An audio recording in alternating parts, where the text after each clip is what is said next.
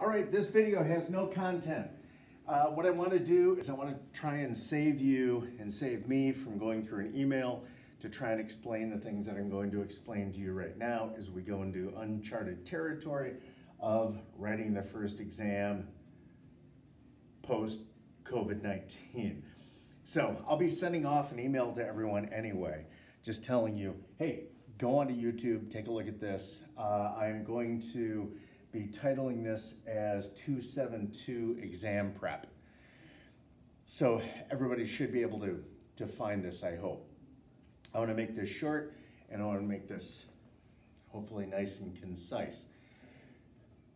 First, lymphatic system, urinary system, not endocrine. I told everybody earlier that, yeah, I made a mistake on that schedule. The first thing was endocrine and I changed it to lymphatic. So we're talking about spleen, tonsils, immunoglobulins. Um, I think you know what I'm talking about. So we'll be dealing with lymphatic as well as urinary. Nephrons are a big deal when it comes to urinary.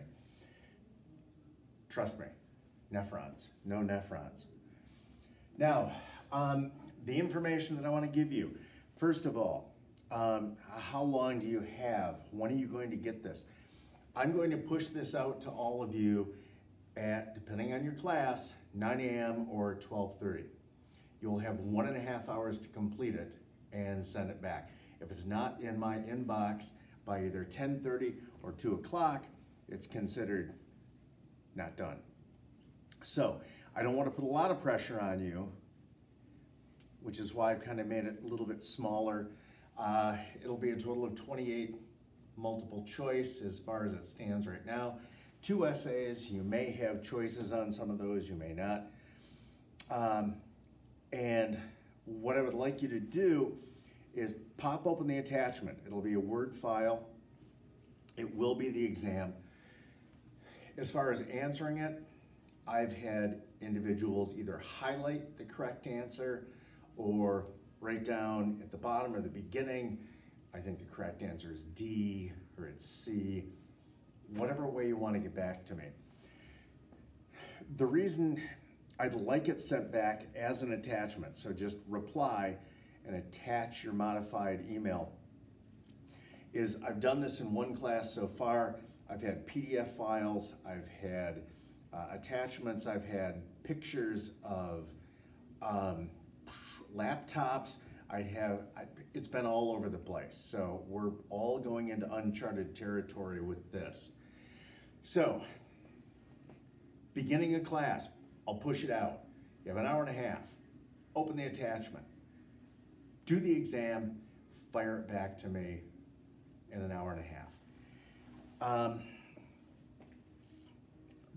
make sure you check your web access. I've also had students so far that have all of a sudden realized I don't, I don't have access. Which if you're in an hour and a half window, it can be pretty tight. So check that access and pull it up, write it, fire it back to me, and then I'll get these exam grades back to you, hopefully by Thursday. Uh, possibly, I'm gonna have to roll it over through the weekend into Tuesday of next week.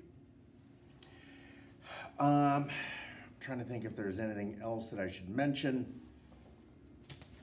I guess content. What am I looking for? Uh, as we go through these systems, let me give you an idea what some of the important things that I, I'm, I'm looking for happen to be.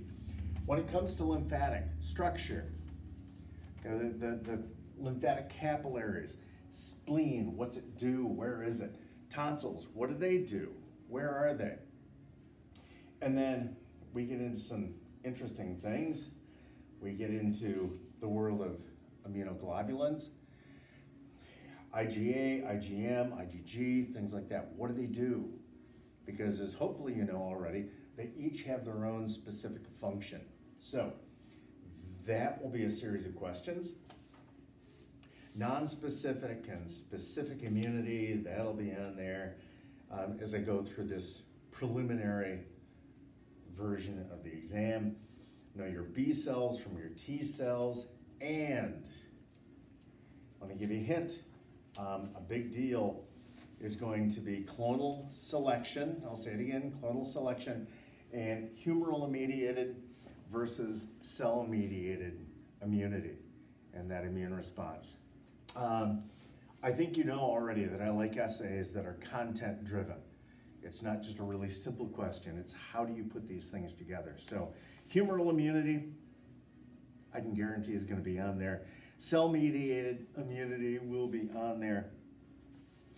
And make sure you know all the steps. What are the cells that are involved? I know when we went through it, it's pretty complex. So dive into it, get comfortable with it. And then urinary. Um, essentially same thing, structures, muscles, uh, detrusors. Um, let me see if I can give you some more information off another one of these pages. Oh, yeah. The efferent, afferent arterioles going into the Bowman's capsule. Um, boy, some of the angiotensins, renins, and how do you make sure you don't wet your pants after you've had a lot to drink? Also, as I, I think I said, uh, the nephron. Know the nephron.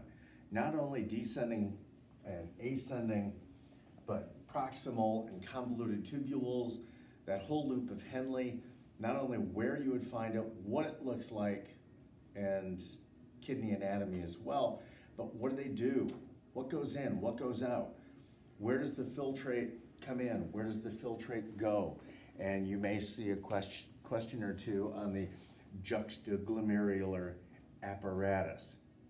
So as you can tell, this would have taken 20 pages for me to say on an email. I will be sending a reminder email out in just a few minutes. If you have questions, I will have my, my computer on. I had a, a big issue this weekend, uh, which is why I was not able to check emails for like four days and I felt like crap because of it, but I can now. So I will be watching to field your questions as they may or may not come in. I think, I think that's everything. so like I said, let me know if you have any questions. Email's on its way. Bye. Good luck.